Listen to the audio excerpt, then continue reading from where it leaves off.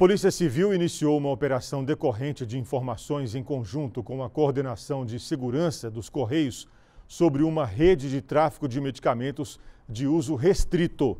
A entrega foi monitorada. Uma mulher que recebeu a encomenda disse que havia comprado o remédio para uso próprio, uma vez que está grávida de sete semanas.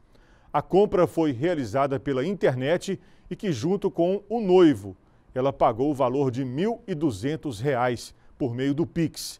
Os materiais foram apreendidos e a mulher conduzida até a presença da autoridade policial de plantão para as demais providências.